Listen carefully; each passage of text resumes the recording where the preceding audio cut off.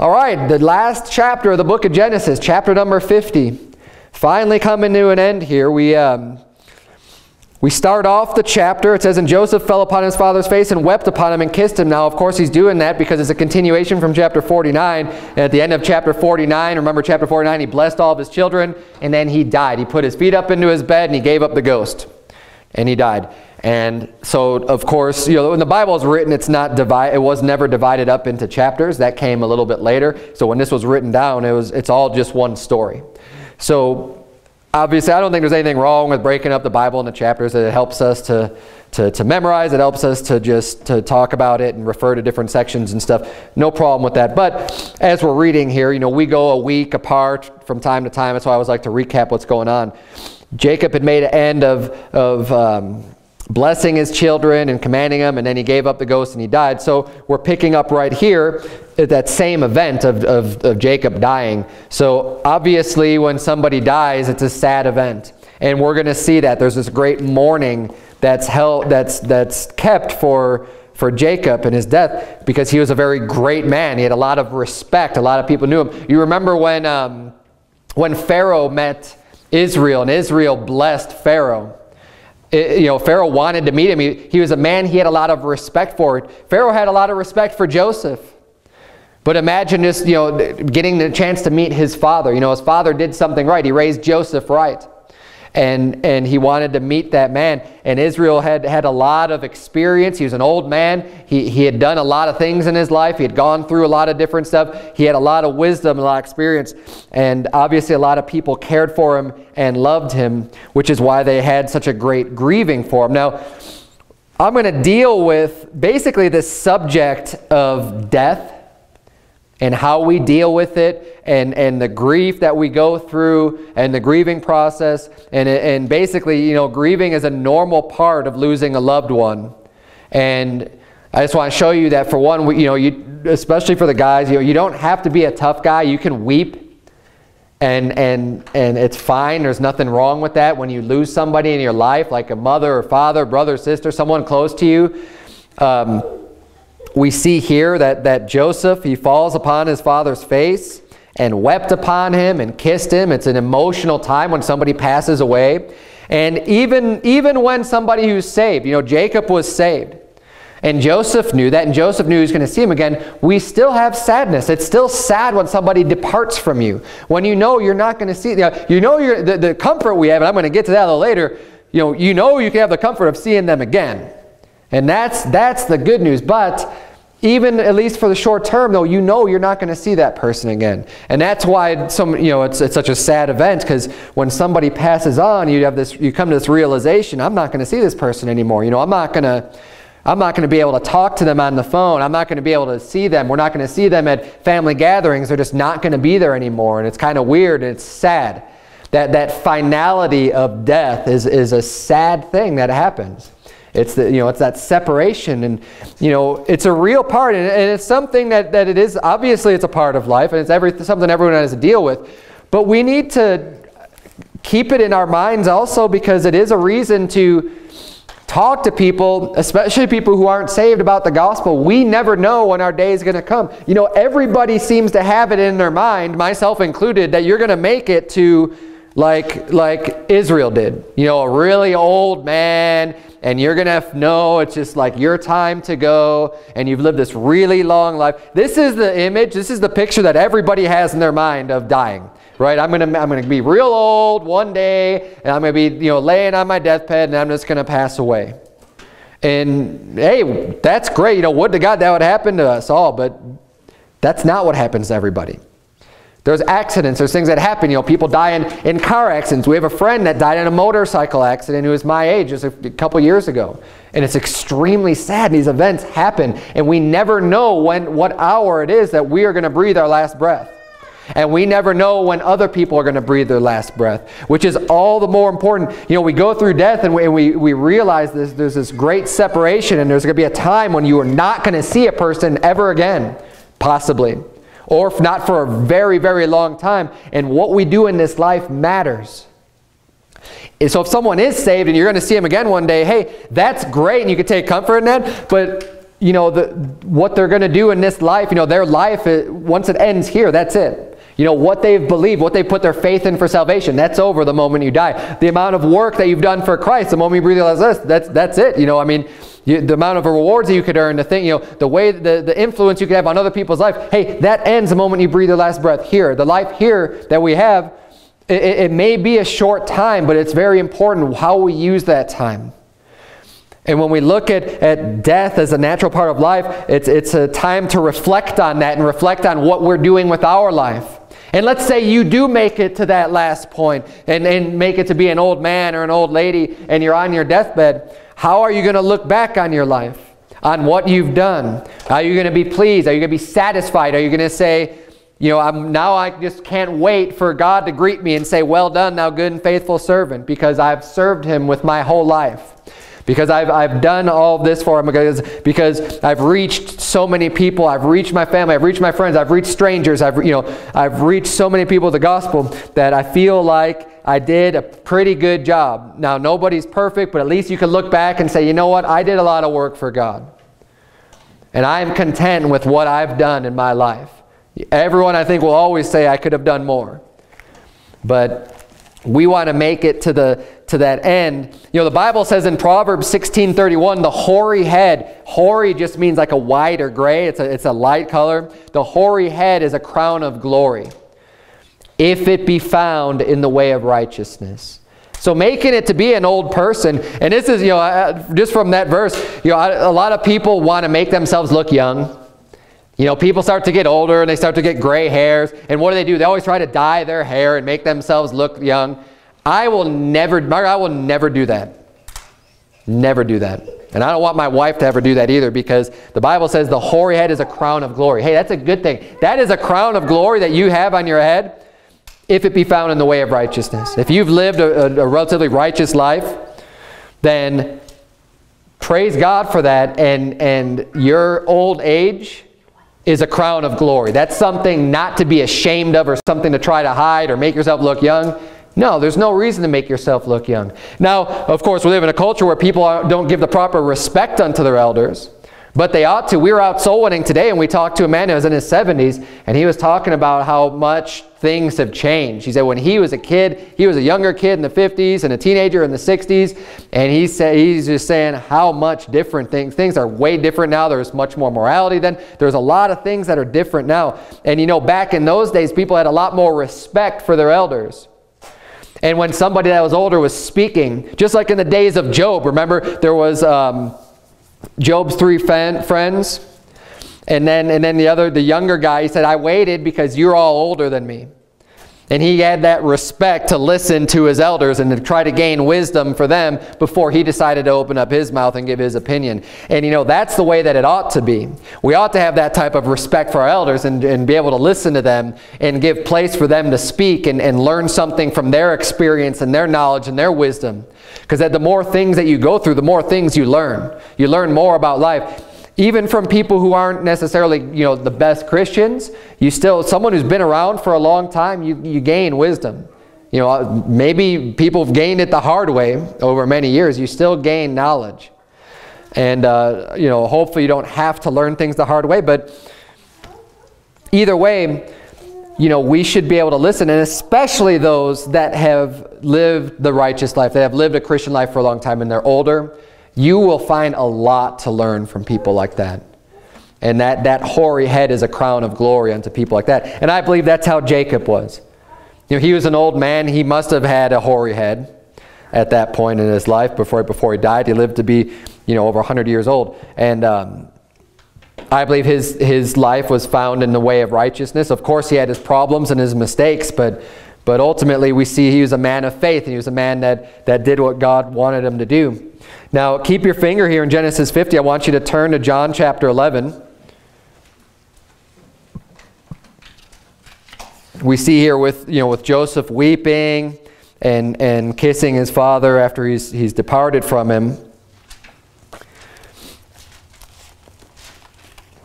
I just want to point out about, about grieving that even though, especially for men, it's not, it's not a manly thing to weep or to cry, but in a time of, of death, I mean, you, you ought to feel, there, there ought to be that sorrow there, and, and weeping is fine. Even, we're turning to, to John chapter 11, this is the section where Jesus weeps. Okay, he doesn't do it very much. It's not like he's a crybaby. He's not just crying all the time.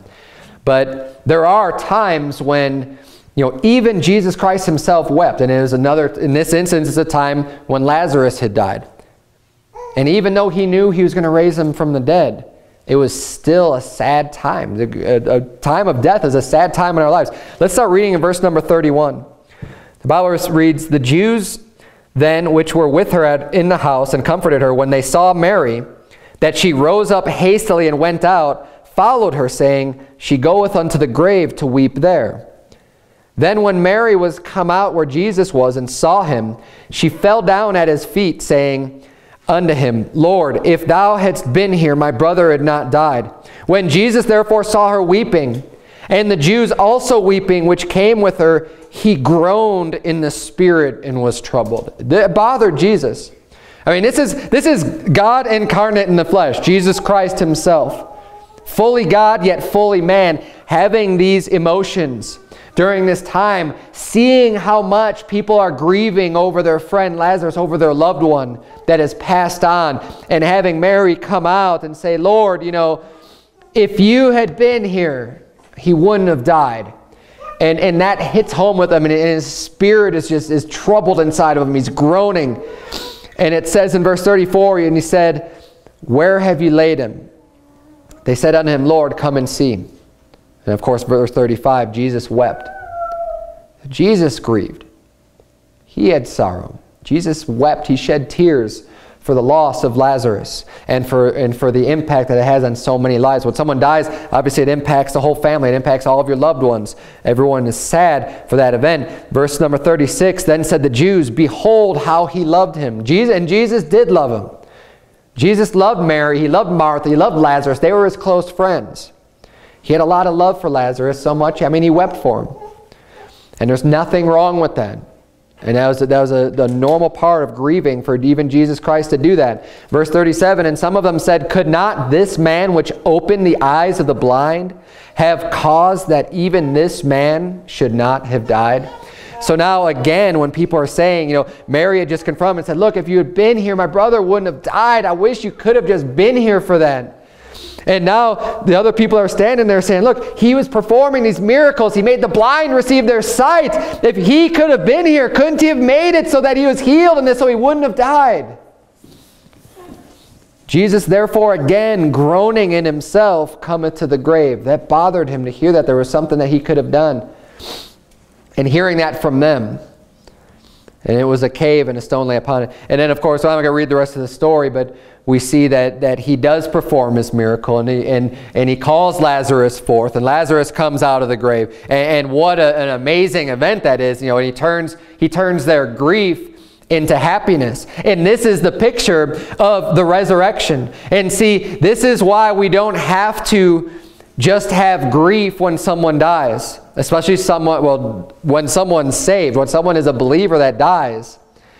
That just as much as this picture shows the, the severe grief and the weeping and the sorrow over someone who's passed away, then you see the joy that happens when he's brought forth out of the grave and he's resurrected. And, and what an, an amazing event. And everyone, you know, everybody's sadness and grief turns into joy and happiness in, in an instant because he's, he's come forth out of the grave. And that's what we are going to face in the res with the resurrection.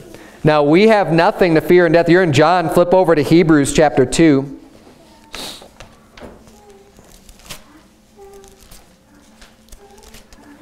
Flip over to Hebrews chapter number 2. A lot of people are afraid of death. A lot of people are afraid to, to come to that point in their life. And, you know, if you're not saved, if you don't know Christ, I can understand why you'd be afraid. I would be afraid too. Because most people are thinking, man, I don't know if I did it. I don't know if I'm making it to heaven. I don't know what's going to happen to me when I die. And it's a scary thought to think, what is going to happen when, when I breathe my last breath? Am I, am I going to wind up in hell? Am I going to be tortured and tormented? What's going to happen? People can get really scared when they see death coming on the horizon, when, when they know their time is coming to an end. But we as believers, we don't have to worry about that. We don't have to have that same fear because we have confidence. We have confidence in our Savior. We know that He's bought us. We know where our soul is headed. We know where we're going when we die. Hebrews chapter 2, look at verse 14. The Bible says, For as much then as the children are partakers of flesh and blood, he also himself likewise took part of the same, that through death he might destroy him that had the power of death, that is, the devil, and deliver them who through fear of death were all their lifetime subject to bondage. Jesus Christ defeated death. He defeated the devil. He defeated, you know, it says here, him that had the power of death and delivered us, delivered them who through fear of death were all their lifetime subject to bondage. We are subject to sin and bondage and, and the end of death and hell. But he's delivered us from that. He saved us from that through his death on the cross, obviously. Psalm 23, I'll just read it for you. Real famous psalm is, is read most commonly at funerals and and uh, you know when someone passes on because it's it's a psalm that gives encouragement. It's a psalm that that gives edification and comfort unto those when they have someone who's passed away. They're words that can help you through a time of grief and sorrow. Psalm 23 verse 1 the bible reads the lord is my shepherd. I shall not want. He maketh me to lie down in green pastures. He leadeth me beside the still waters. He restoreth my soul he leadeth me in the paths of righteousness for his name's sake. So he's talking about God being my shepherd. He's watching over me. He's leading me where I go through this life. When people die in our life, hey, look, we could take comfort in the fact that God is leading us. He is our shepherd. He's watching us. He's leading us in the path of righteousness. We don't have to let these events just, just bring us down into a state of grief that is just over much grief and sorrow that will just drown us in our sorrows. Verse 4, Yea, though I walk through the valley of the shadow of death, I will fear no evil. For thou art with me. Thy rod and thy staff, they comfort me. Thou preparest a table before me in the presence of mine enemies. Thou anointest my head with oil. My cup runneth over. Surely Goodness and mercy shall follow me all the days of my life, and I will dwell in the house of the Lord forever. Forever. It's an eternal thing. When we, when we pass on, we're going to dwell in God's house forever. And that's comforting. That's good news. And that's, that's one of the main reasons why this psalm is read at, at funerals and stuff. Turn, if you would, to 1 Thessalonians chapter 4. We're going to see another, another famous passage that is often used to comfort and, and the comfort that we could find in death is, is ultimately found in the resurrection of the dead because people don't stay dead. When you die physically, you don't stay dead. I mean, we know we have a soul and a spirit that continues on anyways with eternal life. But even our body isn't going to stay in that ground. 1 Thessalonians 4, look at verse number 13. The Bible reads, But I would not have you to be ignorant, brethren, concerning them which are asleep. He's saying, I don't want you to, to misunderstand this. Those that are asleep, those that, he's talking about people who have died. People have passed on, saved believers that, that, have, that have died. He says, That ye sorrow not, even as others which have no hope. You know, we don't need, as believers, we don't need to sorrow the way that, that unbelievers sorrow when someone passes away. Because oftentimes that is, that is a permanent separation. When an unbeliever dies, you are, you are going to be separated from that person forever. Even if another person's an unbeliever, I mean, yeah, you may both be in hell, but you're not going to be together comforting each other. Everyone in hell is going to be burning in torture torment. There's no comfort there. You're not going to be comforted by the fact that one of your loved ones is burning and being tortured with you. That's terrible. I mean, think about that. Think about if someone, I mean, you, you hear about these horrible crimes and stuff that happen. If someone were to come into your house and, and tie you up and tie your whole family up, wouldn't you rather, if something like that were to happen, wouldn't you rather it just happen to you? and that you were the only one getting tortured by some sicko and not that your entire family was being suffered also? Do you think that's going to make you feel better that your, your children and your wife and these other people are all getting tortured by some madman that's broken in your house? No, of course not. You would hate for that to happen. That would make you feel even worse. So there is no comfort in hell. Those that have no hope, there's no comfort. When someone else dies, that's an unbeliever, it's going to be even worse for them to find out you didn't get saved, you're being tortured and tormented also. That's horrible. There's no comfort there. But see, we, we don't have to have that type of a sorrow that the unbeliever has of, of, of never seeing their, their loved one again. Because we do have hope. He says in verse 14, he's going to explain why we don't have to sorrow that way. Verse 14, For if we believe that Jesus died and rose again, even so, them also which sleep in Jesus will God bring with him. So saying, if, we, if you believe that Christ rose from the dead, if you believe in his resurrection, which you have to in order to be saved, do you believe in the resurrection of Christ?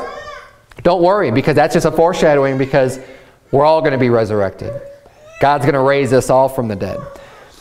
Verse 15, For this we say unto you by the word of the Lord, that we which are alive and remain unto the coming of the Lord shall not prevent them which are asleep. For the Lord himself shall descend from heaven with a shout, with the voice of the archangel, and with the trump of God, and the dead in Christ shall rise first. Then we which are alive and remain shall be caught up together with them in the clouds to meet the Lord in the air, and so shall we ever be with the Lord.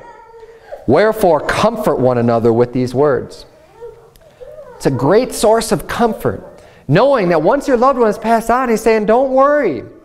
You don't have to be so sad about them that, that have passed on, that have died now, because you know that Christ resurrection, resurrected from the dead. You know that we also, when he comes back, those that are asleep, we're not even going to go before them. If you're alive when Jesus comes back, all, all the believers in Christ that have died before you, hey, they're going to come up out of the grave. And they're going to meet the Lord together in the air with us. We're all going to go up together. And so shall we ever be with the Lord. We're going to be with him forever. We're going to be with our loved ones forever. Praise God for that. That is hope. There is comfort in that. We could have that hope that, yeah, we may, we may be separated for temporarily from our loved one that's a believer, but we will be reunited with them when Christ comes back. Turn, if you would, to 1 Corinthians chapter 15. First, this entire chapter goes about, talks about the resurrection of Christ and really outlines it. And we're gonna, I'm going to try to, to jump through this kind of quickly. And, you know, the reason why I'm going so in depth in this is because so far we've seen, you know, and there's not a whole lot going on in chapter 50. There's um, the death of Israel, and then also at the end, the death of Joseph. Right? And there's a few other things in between. I'll get to those also.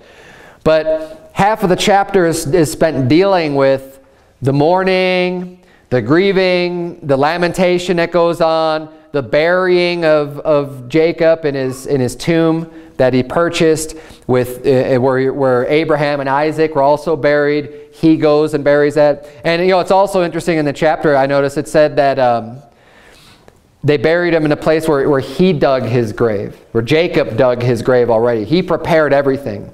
Abraham had his burying place figured out and all prepared. You know, Isaac did, and Jacob also. He had his grave dug and ready to go. And showing that, you know, we should be get as much plans as possible so that you know other people you don't lay a burden on them when you pass away right i mean they had the plot ready to go they had everything laid out and ready to go and say this is what i want you to do with me they had their will laid out and said this is what i want you to do you know obviously you could that's all you can do because i mean it's going to be up to them to actually respect your wishes and respect your will but I, I, I believe that we, you know that's why there's living wills that's why we have things that are that that um, you can put down in writing, this is what I want to happen. These are my wishes. This is my intent. And I think everybody should have this. Um, you know, at, at some point you should, you should create something like this so that you could um, try to relieve any burden of the family to have to deal with, with everything else after you're gone. And you can just dictate, this is what I want to happen. This is where I want my stuff to go. This is where I want my body to go. And this is what I want done. These are my last wishes. And um, we saw that happening here in chapter 50. But all the, the grief and the sorrow, and they lamented and they mourned for, for, um, for Jacob a long time, so much so it says, so first he embalmed him. You just go ahead and stay there. I'm just going to read real quick. We already read the whole chapter. Stay in 1 Corinthians 15 because we're going to get to that. I'm just explaining why I'm going into so much depth. Joseph had his father embalmed right by the Egyptians. And then and that took 40 days to do the embalming. And then it says, and the Egyptians mourned for him three score and ten days. 70 days they mourned for Israel. That's a long time of mourning. I mean, that's, that's like, that says the Egyptians. So like there was this widespread mourning going on for Israel. And that shows you what type of man he was. It shows you that he was a man that's respected. I mean, sometimes you'll see these great funeral processions, right, of someone who's had a lot of influence in people's lives. The more people you've had an impact on, obviously, the more people are going to grieve and, and, and care that you've passed on. If you don't make an impact on people's life, you know, people probably won't even care that, that you've passed on. I mean, people don't, don't have family and friends and don't know anyone. Oftentimes people die without anyone even recognizing that. And it's sad. But that's not how Israel was. Israel was a man that was respected and a lot of people knew. And they mourned for him for 70 days. And then it says, um, and when the days of his mourning were past, you know, Joseph talked to Pharaoh or unto the house of Pharaoh, and he's basically just asking, hey, let me go.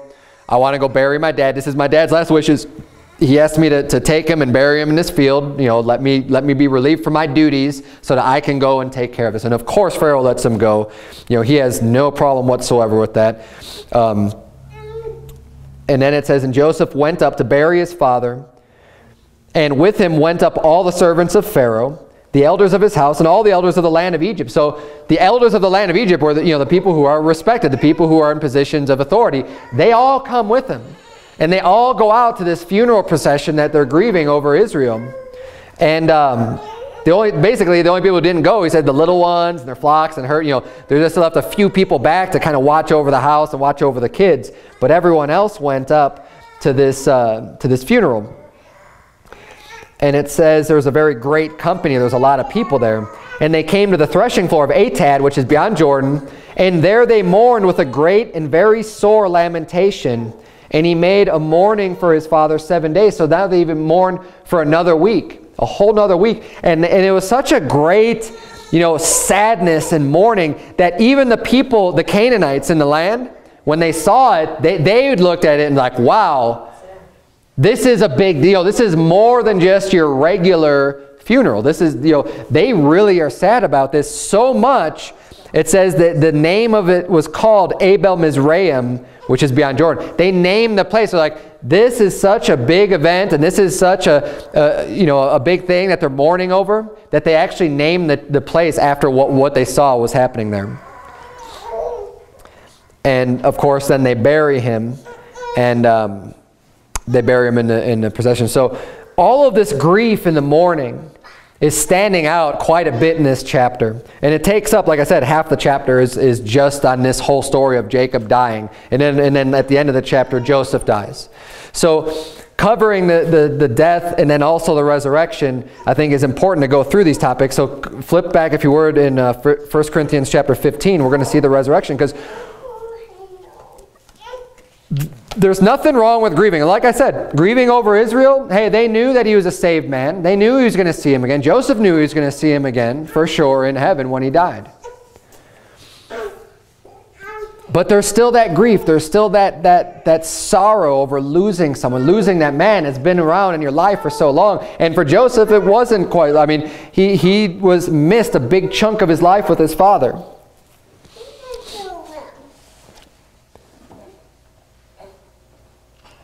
But this is the great comfort that we have is in the resurrection of Christ and just knowing this. So when we go through these sad times and in a time where maybe there's extreme grief and sorrow because someone that you really care about and really love and someone that's really close to you is passes on.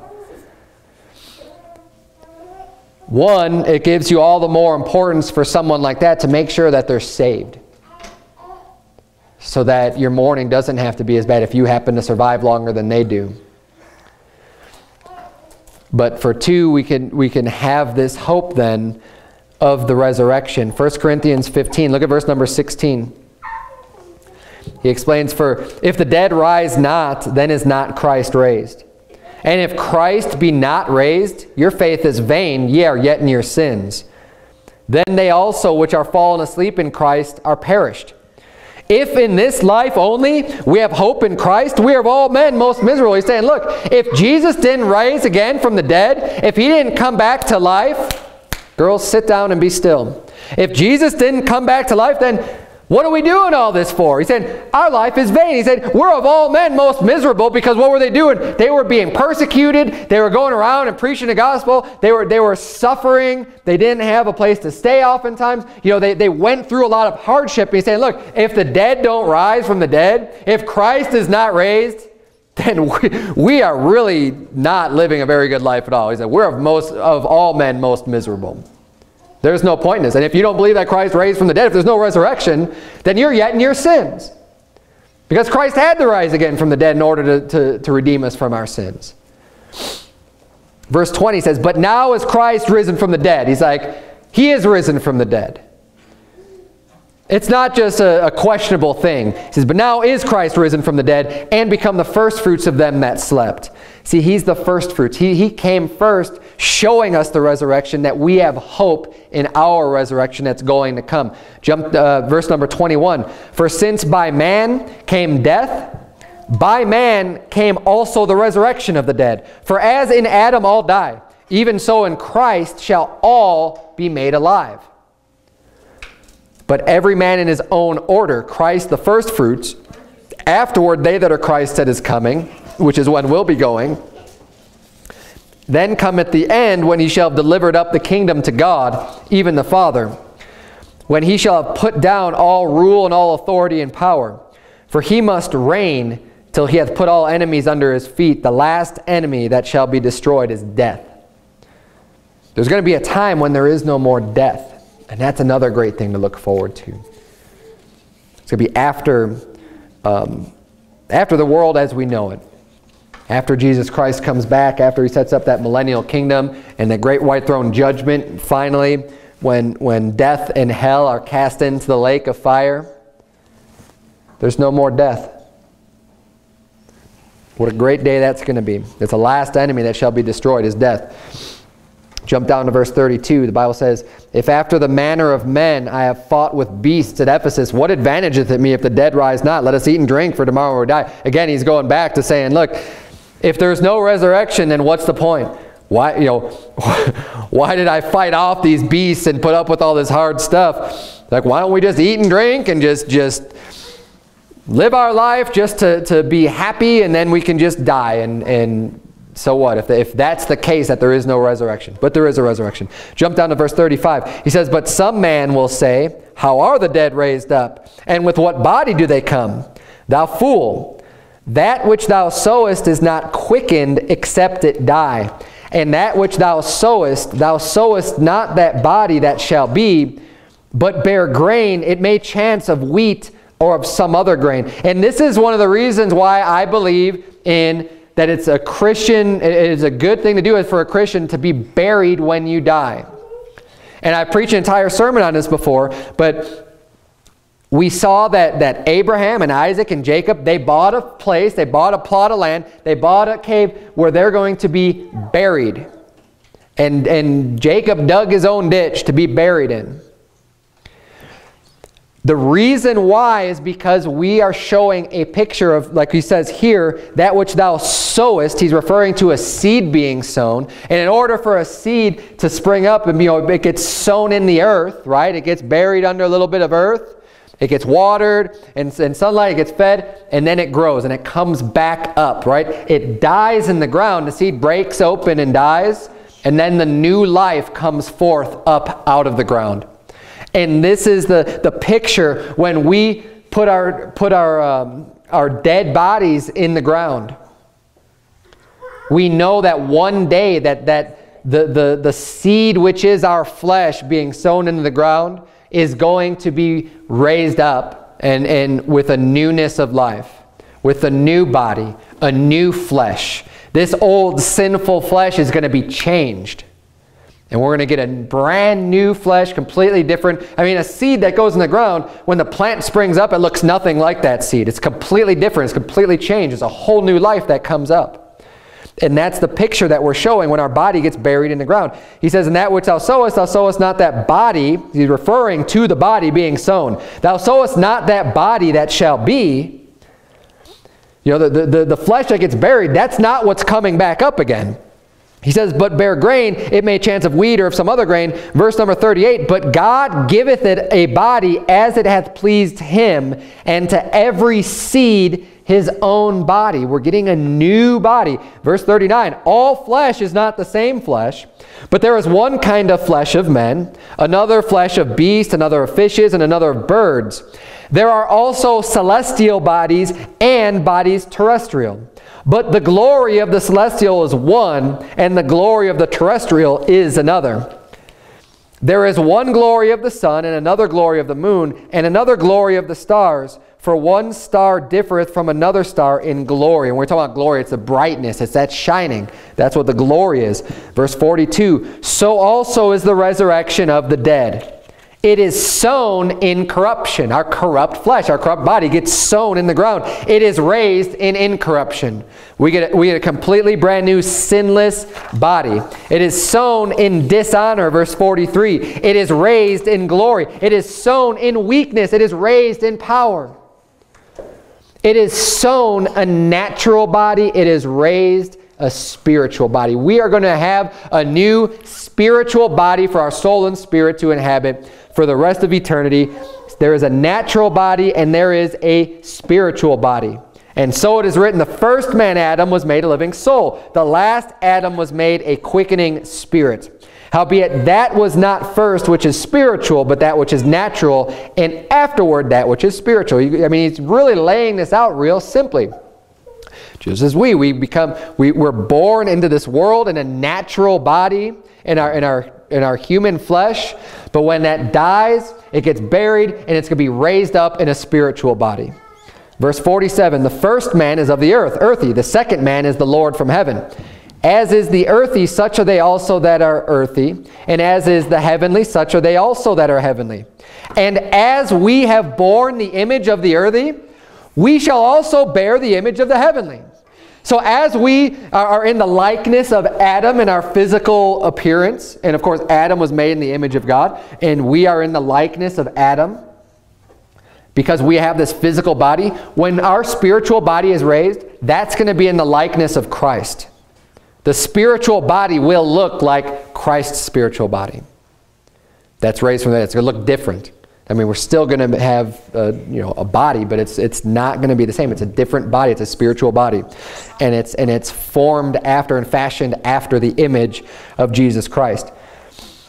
He says, and that's what he's saying in verse 49. Verse 50. Now this I say, brethren, that flesh and blood cannot inherit the kingdom of God, neither doth corruption inherit incorruption. We're not going to go to heaven in this physical body that we have right now. That's why we need a new body.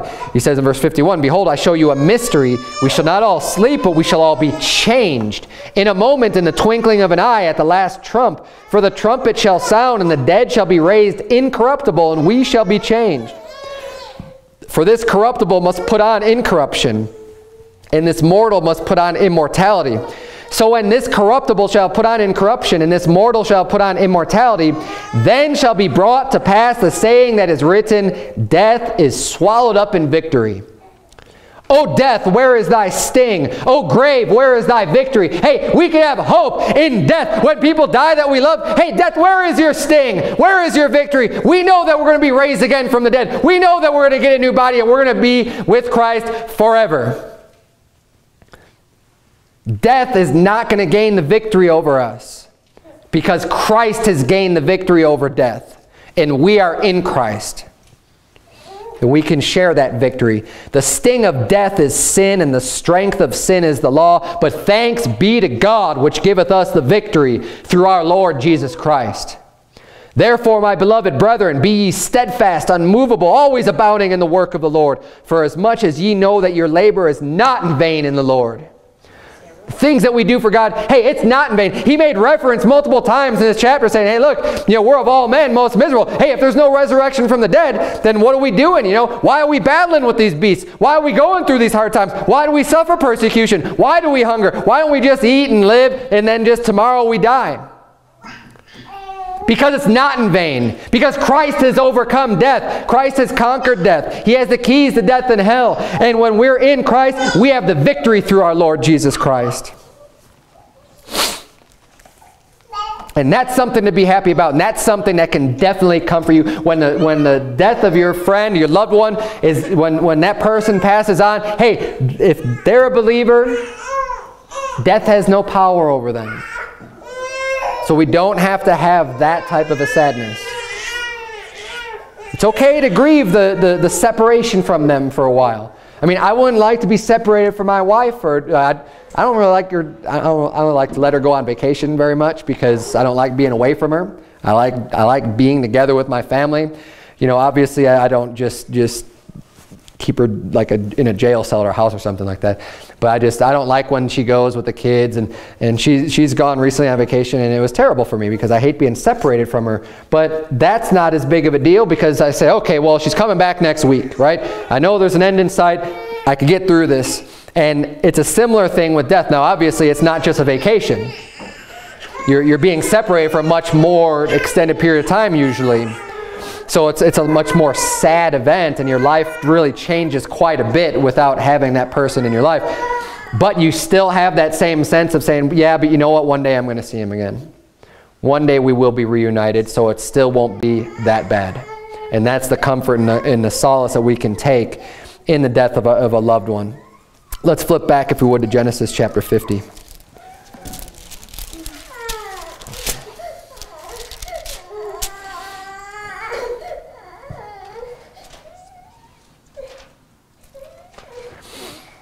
And I made mention of this, but I didn't actually point it out in the scripture where I said that Jacob had dug his own grave, basically. Look at verse number 5. He says, this is Joseph talking to Pharaoh, trying to, to ask, being asked to leave. My father made me swear, saying, Lo, I die. Right? This is Jacob saying that he dies. In my grave, which I have digged for me in the land of Canaan, there shalt thou bury me. So we see there that, that he's dug his own grave. He's done all the work for himself and he's laid it out so that his children don't have to deal with that. And you know, honestly, that's what we ought to do is to be able to take care of ourselves and not lay that extra burden. Because these days, especially, you know, there's, there's you know, money that has to be paid. There's a lot of money that it's kind of crazy how much is actually involved in, in a funeral and people dying and like taking care of their body and, and getting all that stuff taken care of. And I think that, that as much as is possible, we should try to take care of that stuff for ourselves so that burden isn't laid to somebody else to try to, to, to pay for that when we, um, when we do end up passing away. And you know, Will will help with that too in these last wishes, just like, like Jacob gave unto his son. And he gave his son, these are my wishes. This is what I want you to do. I want you to take me. I want you to bury me here. This is what I want you to do with me. And Joseph, of course, honored that, and all, and all of his children honored that, and they went and did exactly that. But let's, uh, let's keep reading here. Verse number 14. And Joseph returned into Egypt, he and his brethren, and all that went up with him to bury his father after he had buried his father. So now they all return. They come back. They had, you know, this, this great period of mourning is, is finally over. And when Joseph's brethren saw that their father was dead, they said, Joseph will peradventure hate us and will certainly requite us all the evil which we did unto him. So now they're getting scared, his brothers. They're kind of thinking that, well, maybe he didn't really do anything to us after what we've done to him, you know, and, and selling him into slavery and stuff, maybe he just was, was being nice for our father's sake because he loved, you know, he loved Jacob and, and he knew that it would upset Jacob if he took revenge on us and had this big fight. He said, but now that dad's dead, you know, they're all worried about what Joseph's going to do to him. So they come up with this story. They make up this thing. He says um, in verse 16, and they sent a messenger on him. So they didn't even come and confront him. They sent a messenger to go and speak to Joseph, saying, Thy father did command before he died. So they make up another lie. Like they're always making up these lies to get themselves out of trouble. And they should just tell the truth. But they make up this lie, just like they did to Israel when they're talking about Joseph being dead. They make up this lie to Joseph. And they say, Thy father did command before he died, saying, So shall ye say unto Joseph, Forgive, I pray thee now, the trespass of thy brethren and their sin, for they did unto thee evil, and now we pray thee, forgive the trespass of thy servants, of the God of thy father. And Joseph wept when they spake unto him. And it, this grieves Joseph. It makes Joseph sad. Because they obviously don't know him. And they don't understand that he's already forgiven them. He's already gotten past what they've done to him, and now they're just rehashing it again. You know, when you forgive someone, if someone does you wrong, it's not something that you want to be thinking about over and over again, right? If you're able to forgive that person and you're over it, and let's say it's a serious thing that someone's done to you, you don't want them bringing that back up again and say, you know, oh man, I'm sorry, oh man. You know, just look, do it once, be sorry about it, express that to the person you've done wrong to, and hopefully they can forgive you. And if they forgive you, then it's time to just move on and, and, and, and let that go, man. Let it be in the past. Joseph was able to do that, which of course it sends him because now he's thinking about what, what they did to him and everything else again, which wasn't even going through his mind.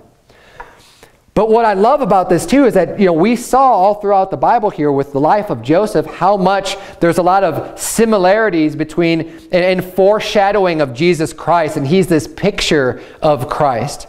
And even with his forgiveness here. And I covered this a little bit in one of the other chapters. It says, And his brethren also went in verse 18 and fell down before his face, and they said, Behold, we be thy servants. So they are humbling themselves for sure. And Joseph said unto them, Fear not, for am I in the place of God. But as for you, ye thought evil against me, but God meant it unto good, to bring to pass as it is this day to save much people alive. He's saying, look, I know you guys wanted to do me harm, but God meant it unto good. And this is the whole purpose of, of all of that stuff happening, that God brought me through it every step of the way in order for this to happen. And Joseph's saying, look, I'm over it. I've forgiven you. And that's why he says in verse 21, Now therefore fear ye not. I will nourish you and your little ones.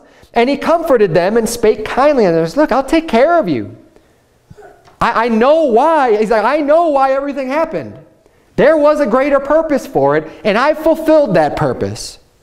I'm not holding you guys, or I've forgiven you of what you've done that's wrong. And this is the great forgiveness that we can have with God the Father, with, with our sins. The Bible says in uh, in Hebrews 10, verse 16, the Bible says, This is the covenant that I will make with them after those days, saith the Lord. I will put my laws into their hearts, and in their minds will I write them, and their sins and iniquities will I remember no more. When God forgives us, He forgives and forgets. He doesn't remember it anymore. It's out of His mind. When we go to God, to God, you know, we, we put our faith in the Lord Jesus Christ and we know that we can't, we can't do it ourselves. We need, we need a Savior. We need someone to save us. We want that debt paid for. Hey, once we do that, those sins are gone.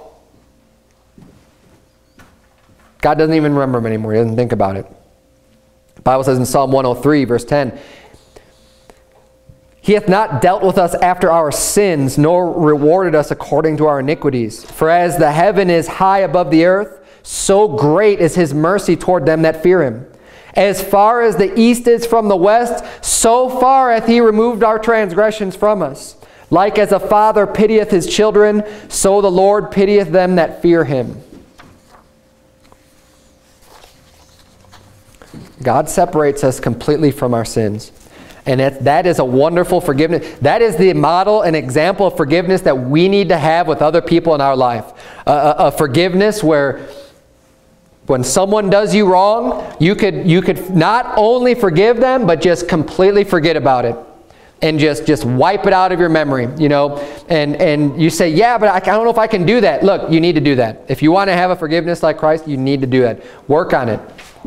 So I don't know if I can do that. It's, it's, that's the, that is the type of forgiveness and love that God had and the mercy that he had. We see Joseph had that too. I'm sure Joseph wasn't thinking about those things after his dad died. He was sad that his dad died. He didn't want to have any more problems with his brethren. But they brought it up again. Joseph had already gotten past that. And he proves it in, in his words and in, in the things that he said. we ought to be able to have that too. I mean, if someone did so much wrong to you or they've sold you into slavery and they wanted to kill you, to have that level of forgiveness, that's, that's where we need to be. And if you don't think you can do that, you need to work on it. You need to soften your heart up a little bit. You need to realize by the, the amount that God has forgiven you and what you're worthy of and, and what you deserve, the punishment that you deserve from God, let that humble yourself to be able to, to express that same type of mercy unto others and to be able to forgive them. Let's keep reading. We're going to finish up this chapter. We're almost done. Verse 22, And Joseph dwelt in Egypt, he and his father's house. And Joseph lived in 110 years. So Joseph lived quite a long time also, 110 years old. And Joseph saw Ephraim's children of the third generation. The children also of Machir, the son of Manasseh, were brought up upon Joseph's knees. And Joseph said unto his brethren, I die, and God will surely visit you. Look at God will surely visit you. He's saying there's no doubt about this. God is going to come back and visit you. And bring you out of this land unto the land which he sware to Abraham, to Isaac, and to Jacob. And Joseph took an oath of the children of Israel, saying, God will surely visit you. So he repeats himself again. He wants to make sure you get this through your head. He's 110 years old. Listen, God will come and visit you again. And ye shall carry up my bones from hence. So he gives them his last will, saying, look, God is going to come back, and when he does, I don't want my bones sticking around in Egypt. I want them brought out of this place. So Joseph died being 110 years old, and they embalmed him, and he was put in a coffin in Egypt. And it's interesting, Moses actually did take his bones some 400 years later. Almost about 400 years they were in Egypt, and they were they were they were you know under the bondage. Where where uh, you know Exodus explains this that that after Joseph had died, and that whole generation and everyone that knew Joseph died, that's when they started to be really put into bondage then by the Egyptians, and um, that's that's a whole the whole rest of the story. But um, it says in Exodus 13, 19, And Moses took the bones of Joseph with him, for he had straitly sworn the children of Israel, saying, God will surely visit you, and ye shall carry up my bones away hence with you. And, and what an amazing thing, you know, with, with Moses going through this time and actually seeing Scripture just being fulfilled and just being a part of that and saying, hey, we need to take Joseph's bones with us because God has visited us and he is delivering us out of their hands and we're going. And they, and they kept that charge that Joseph had laid unto them. Now, the entire book of Genesis, we're finishing up the book of Genesis tonight. The entire book of Genesis is underscored by the men of faith that's found in its chapters. We have Abraham, Isaac, Jacob, with Joseph. We go through all these stories of these men, and they are revered throughout the whole rest of the Bible as men of faith. I mean, think about Abraham is, is the person that, that God chose that he was going to make a nation out of and choose to be, you know, his people and, and what, who he was going to use to reveal himself and the prophets he was going to use and, and the, the, the Bible that was going to be written and everything was going to be used through, ultimately through Abraham. He was the one that was chosen. What a great man Abraham was, and we read a lot about him. And then all these other people that had this great faith. And, and we preached out of Hebrews 11. If you want to turn there, it's the last place we'll look at tonight. Hebrews chapter 11 is that great faith chapter that we preached out of. And we see there the references to what happened in chapter 49 and 50. Because they had the faith uh, verse 21 and 22 of Hebrews 11. By faith, Jacob, when he was dying, blessed both the sons of Joseph and worshipped, leaning on the top of his staff. We saw that in actually chapter 48 when, when, when he blessed Ephraim and Manasseh. And he did that by faith, you know, giving them the blessings of the future. And then verse 22, by faith, Joseph, when he died, made mention of the departing of the children of Israel and gave commandment concerning his bones. That's something that Joseph did by faith. He hadn't seen it. He didn't know. I mean, he didn't know it was going to be for some 400 years in the future either. But he knew it was going to happen. He knew that God was going to come because the promises were made unto his fathers. The promise was made unto Abraham, unto Isaac, and unto Jacob about the land that they're going to inherit, which wasn't the land of Egypt, which was the Canaanite land, which they did get led into, which God did deliver unto them because God is faithful and God is true to his promise. And isn't it amazing? You know, there's so many people that want to teach you that, oh, people got saved different in the Old Testament versus the New Testament. Yet we see here so much reference to faith in the book of Genesis, the very first book of the Bible, there are men of extreme faith that trusted in God, that they were pilgrims on this earth, that they, they were sought out a heavenly land, that they were not, their sights were not set on the physical place. But they, they had faith in their Lord, just as Romans 4 says, and Abraham had faith. That if that Abraham, if he, you know, Abraham was not justified by works. He says, for Abraham were justified by works, but not before God. In, in, in Romans chapter 4, he's not justified by works before God, but by his faith that he had. So uh, let's bow our heads and have a word of prayer. Dear Heavenly Father, Lord, we thank you so much for these great examples of the men of faith in the Bible. Lord, I pray that you would please just comfort us and strengthen us, dear Lord, and, and increase our faith. We have so much more evidence. We have so much more to, uh, to help out our faith and, and having your, your entire word here preserved perfectly for us. Uh, these men in, in the book of Genesis did not have nearly as much as we have, dear Lord. I pray that you would please help us to use what you've given us and not to waste it, and that we know that you expect even more out of us since we do have so much at our disposal, so much knowledge and so much uh, opportunity, dear Lord. I pray that you please help us to take advantage of that. Lord, I pray that you please help us to be strengthened and comforted during our, our times of, of mourning and sorrow when people pass in our lives. And God, I pray that you would please help us also to recognize the urgency of, of giving people the gospel and getting them saved and not to just put things off because we never know the day or the hour that someone might pass and that separation might be eternal, dear Lord. And we don't want that to happen, especially with our friends and our loved ones, dear God. And I pray that you would please just stir up our souls, stir up our spirits, and give us that fervent desire to to be able to, to preach your word and to, to tell the good news of the gospel of Jesus Christ, dear Lord. It's in Jesus' name we pray. Amen.